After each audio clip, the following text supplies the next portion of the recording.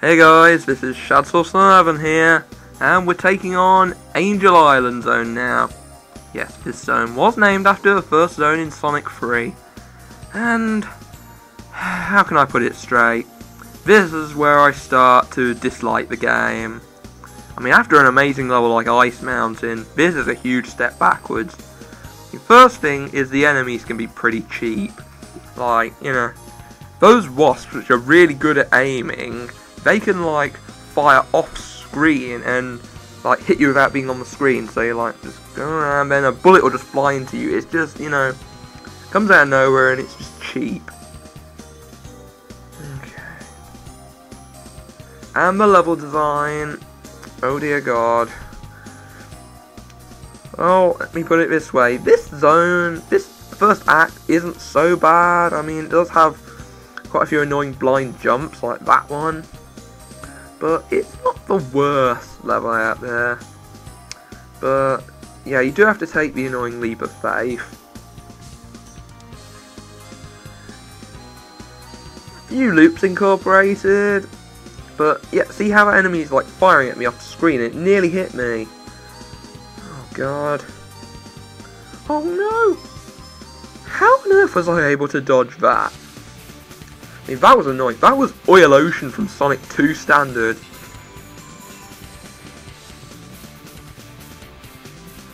Hmm, trying to get up here is a bitch. Getting on the wheel now. Uh, rolling rock.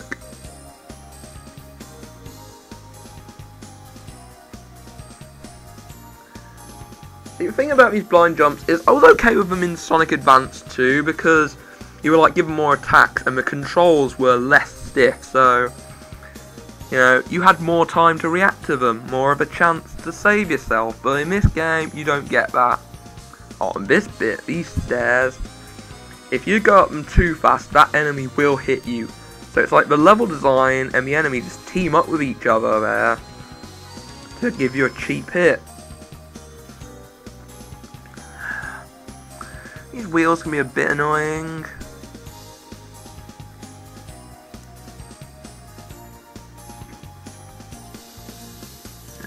I don't need that shield.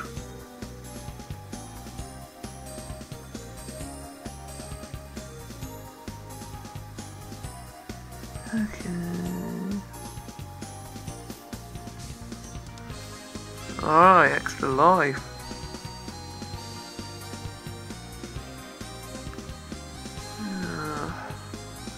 Now, what's one thing you may have noticed by now that hasn't happened yet? I haven't finished the level.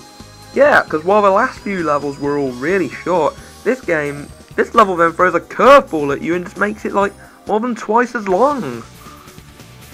I mean, I know games levels are supposed to gradually increase in length as the game progresses, but this just doesn't. It just hits you by surprise.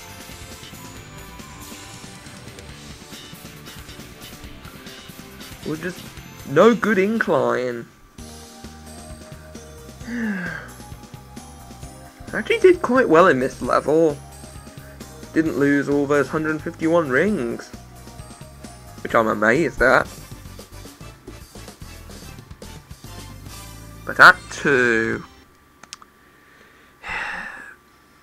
This is where the game gets really annoying. Okay, there's a bottomless pit down there, so you've got to carefully jump over those clouds. Hmm. Okay, now how's this for a trap?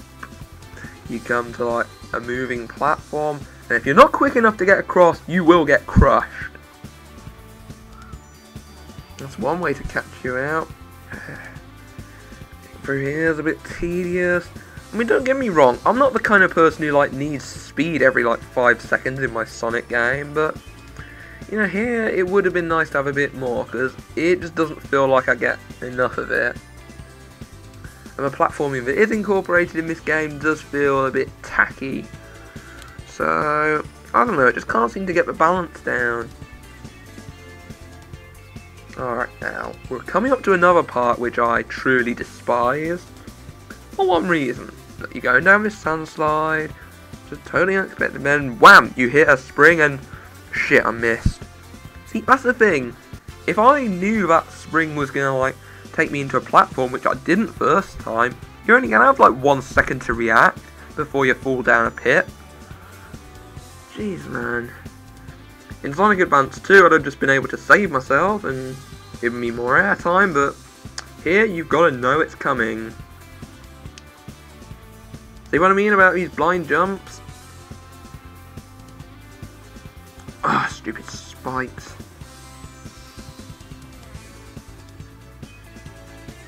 It may seem like I'm complaining too much, but I'm just not having fun, you know. I mean, this is a Killjoy level.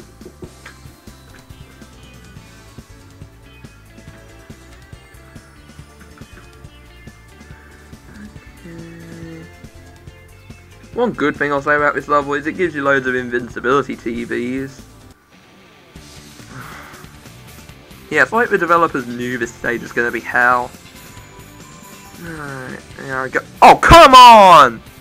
Okay, let's put this into perspective. You've got a platform that's thin anyway, and you have to jump to it on a slope platform.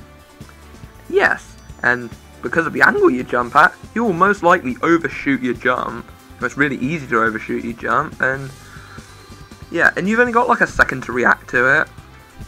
That is so fucking cheap.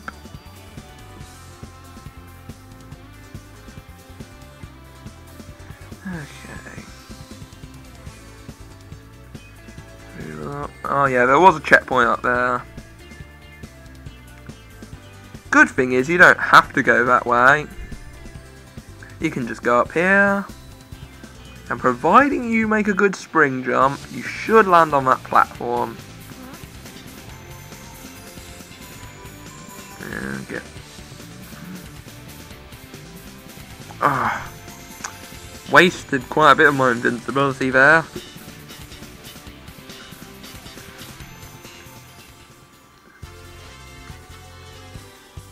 Not really got much to say, but truth be told, I'm actually quite bored. Because, you know, nothing really feels like it's happening. and like I said before, I don't need action every five seconds, but I'm just, you know, really perplexed at how first few stages, all really short, fairly easy, then this one just, you know, changes things dramatically. It's like there's no in